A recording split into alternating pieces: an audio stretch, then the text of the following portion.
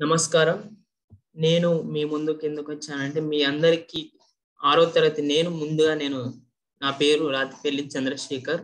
నేను నవోదయలో ఏడు ఆరో తరగతి నుంచి పన్నెండో తరగతి వరకు ఏడు సంవత్సరాలు నవోదయాలనే చదివాను.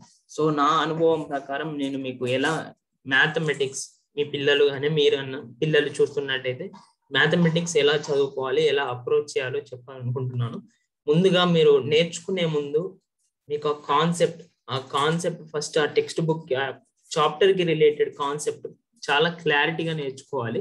ఆ తర్వాతనే ఎగ్జాంపుల్ కాన్సెప్ట్ వచ్చిన వెంటనే ఎగ్జాంపుల్ చేయాలి. ఎగ్జాంపుల్ కూడా ఆ కాన్సెప్ట్ ఆ ఎగ్జాంపుల్ ప్రాసెస్ని నేర్చుకోవడానికి మీరు ట్రై చేయాలి.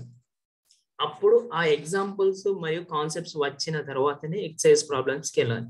కానీ మన చాలా మంది ఏం చేస్తారంటే కాన్సెప్ట్ అయిపోయిన వెంటనే ఎక్సైజ్ ప్రాబ్లమ్స్కి వెళ్తారు రాకపోయేసరికి ఆపేస్తారు. అలా చేయకూడదు. ఒకవేళ కాన్సెప్ట్ అర్థం కాకపోయినా ఆ కాన్సెప్ట్ కాన్సెప్ట్ని యూట్యూబ్లో కొట్టి లేకపోతే ఎక్కడైనా గూగుల్లో కానీ సెర్చ్ చేసి ఆ కాన్సెప్ట్ వస్తుంది అది చదవాలి. కాన్సెప్ట్ క్షుణ్ణంగా నేర్చుకోవాలి.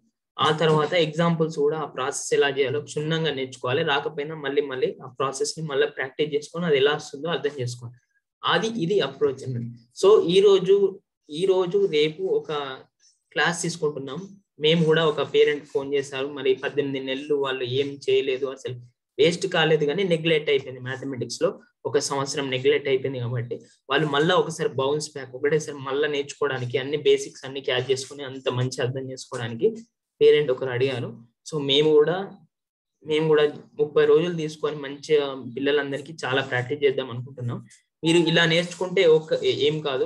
ఈ రోజు రేపు మేము ఒక ఒక చాప్టర్ తీసుకుంటాం. ఆ ఒక చాప్టర్ ఎలా నేర్చుకోవాలో ఏవో అన్ని చెప్తాం. దాన్ని మీరు మిగతా చాప్టర్లకు కూడా చెప్ నేర్చుకోవచ్చు. కానీ ఇంకా ఇంకా మరి కష్టం అవుతుంది నేర్చుకోవాలి అనుకుంటే మేము మేము సహాయం చేయడానికి ముందుకు వస్తున్నాం ముప్పై రోజులు తీసుకుంటాం. ఏడో తరగతి వాళ్ళకి తీసుకుంటున్నాం ముందుగా.